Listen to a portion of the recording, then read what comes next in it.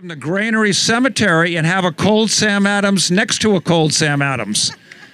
All right, here they come, the big guns. Early, Washington.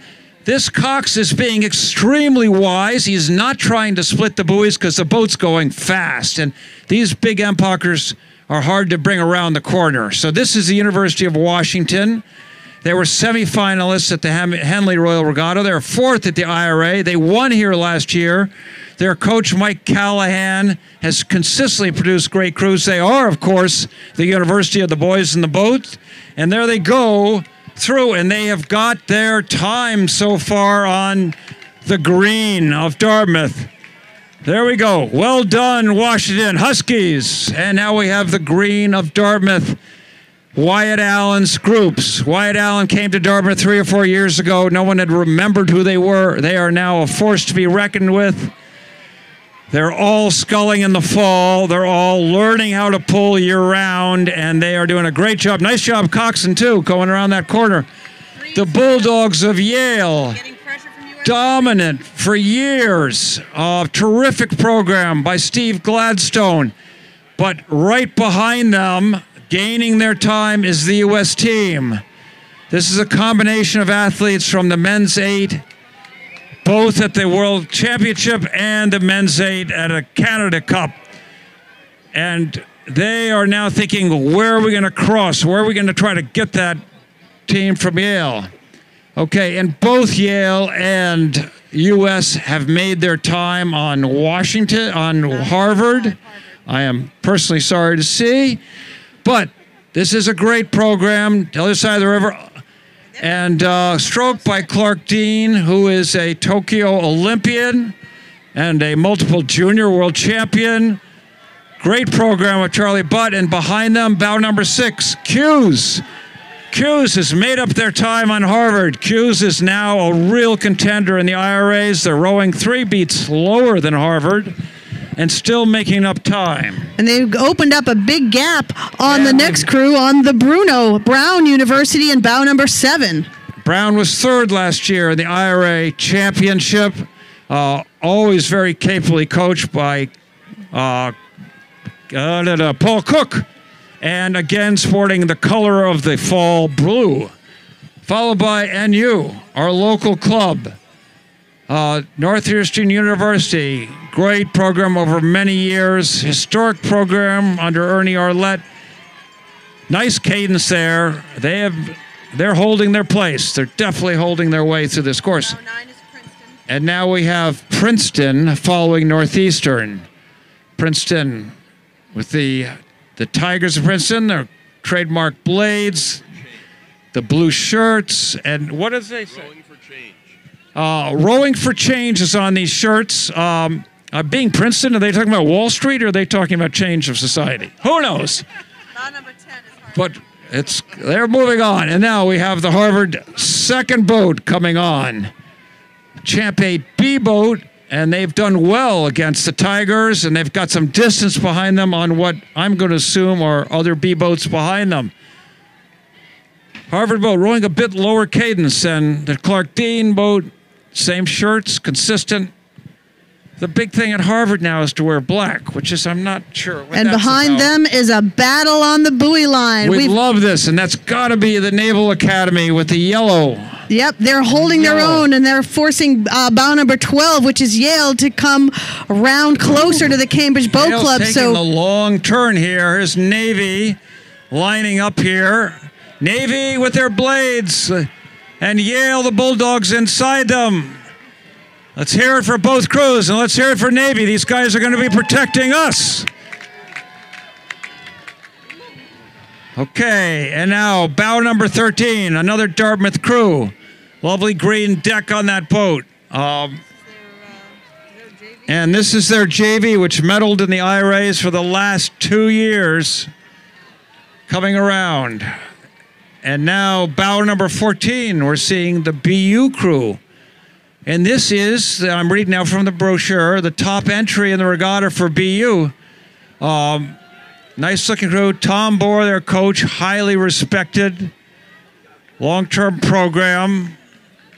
And the other red is coming down now in bow number 15. That's the University of Wisconsin. This is their men's varsity eight. Really doing a nice And job this is here. a new look for Wisconsin. The first time I've ever seen them in Empacher, and I've never seen them in black. The Badgers are changing their ways. Let's go, Wisconsin. and they look like they're holding their own, about even spacing, probably near the start for Brown University. Yeah, this is their second entry. Yep. This is the Brown University. Great program down on the Seekonk. Tough water much of the year. Great coaching. Okay. Yep. All right. So now we see in. Uh, Ukrainian national team charging on Penn. okay. So Penn 17 here, white hull, blue and red blades, and which is great. Nervous And right behind them, let's hear it from the bridge. This is Ukraine, the Ukraine team. Onward, Cruz, Ukraine! Represent Ukraine. And they are doing a fabulous job. Fabulous job. Welcome to Boston, Ukraine. And that is great. And thank you to Sean Colgan for bringing them here. And Bow number 20 out in front first. Right here is bow bow number number 20 from uh, Leander from Great Britain using a BU boat. But this is Leander, a great club. Five of this crew won the ladies' challenge plate. Second top plate at Henley. And they've pushed the Danish crew uh, from uh, bow number 19 just a little bit wide, but uh, both clear through the arch right now. So that's fantastic. An international one, two, no. three Uh, through the bridge. I I didn't hear any scrapes, but I think they're. I don't see them on the other side yet. Yep, I do. They made it through. set. They made it through, and with all their blades. Okay, a little gap after the internationals. Maybe we got some more internationals here. Bow 21 is next. Okay, about 21, we're using uh, Boston College equipment, is Minerva Rowing Club of the Netherlands. This is the Royal Dutch Student Rowing Federation that allows young, talented rowers to compete at international regattas. And they. Minerva in the red boat, and in the white boat, Ellen. The Canadian crew of British Columbia, about 22, so they're trying to overtake 21. They couldn't get quite through them before the bridge, but they're in luck because the next turn is back over to the starboard side, so they may be well set Yeah. up to overtake They them. are set up for the next turn, which is a steep turn. And that's University of British Columbia, who are the 2021 Canadian champions. We are now followed by Princeton's B Boat, which is uh, working hard and just ahead of Stanford. Welcome, Stanford. So, Princess B boat, Stanford's A boat, we assume. Great challenge here. In the Stanford boat is a U.S. Peter Chayton, who's a U.S. U-23 silver medalist. And uh, they're going to have a little crossover under that bridge. Now, Northeastern second boat is here. Yellow boat, Northeastern Blades black. Terrific job. And behind them come the first of the lightweight entries. Really? Yes, that would be the Yale crew. All right, this is the Yale University lightweight crew, and they have stepped out on their lightweight brethren in a big time way. Go catch the big guys, you lightweights. Nice job. Yeah, there you go. So they're almost catching the tail end. They're within we cannot, striking we cannot distance. see almost the next two. Yeah, These are lightweights. As Ellen said, they're all the same weight. They should go more or less the same speed. But it's a real tactical race and that that mental fortitude it's a great feeling to come through this bridge without seeing any competitors behind you you know you're off to a great finish possibly even a win but that yale crew looked incredible Yeah. Uh, congratulations, Coach Andy Card. Okay. Now, more traditionally, here is Cornell, always a lightweight force. With uh, in boat number two, that's the white boat with the red tip blades. Right behind are the Tigers of Princeton. They, the Cox, you notice, of Cornell is wisely looking at her stern. Beautiful job by the Cornell coxswain. The Princeton fans up here are going crazy as the Cornell coxswain has aced the turn. Princeton has now got to take it up a couple of beats and cross over.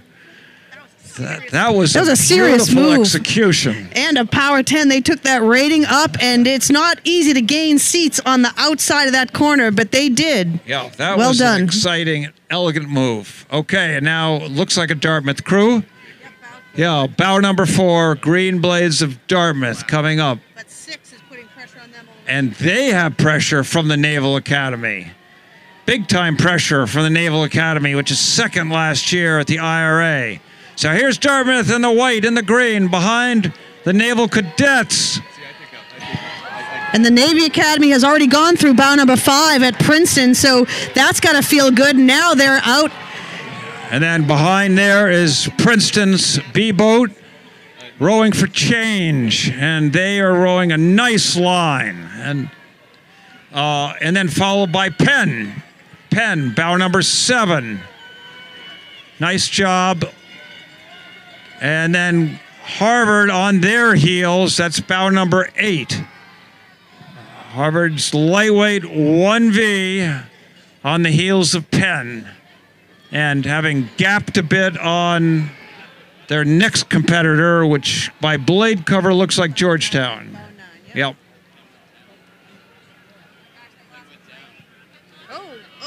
Oh, we have uh, With contact ahead. on the bridge, everyone looks okay, but we have only We three only starboard have, uh, oars in that Penn crew. three starboard oars in the Penn crew going forward. Well, it is the final port turn, so I guess they're in luck.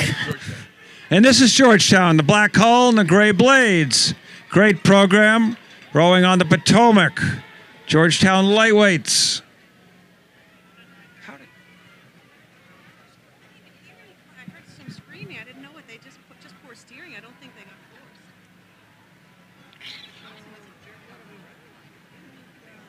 Yeah, they looked okay.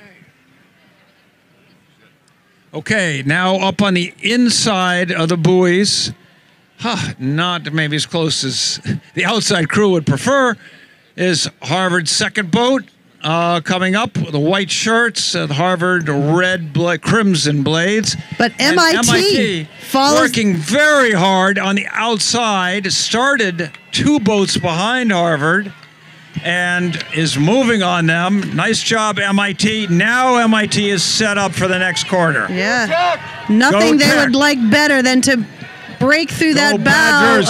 of the Harvard crew, but it'll be a hometown battle into that final corner. Beavers, go Beavers, go Beavers. And I apologize. Yeah. Okay, and then Penn's B boat coming here. And having seen the first Penn boat, this makes me nervous, Ellen, with this Penn boat. Okay, Penn, let's work that turn. That's it. Nice And job. And coming now, up next, the tightest pack of this event, we've got bow 12, Bow followed 12, by White Hull 14, with the blue shirts. followed by 15. Is Oh, sorry, 13. 13. That's the might. That's the hens of Delaware, and then followed right behind them by 14.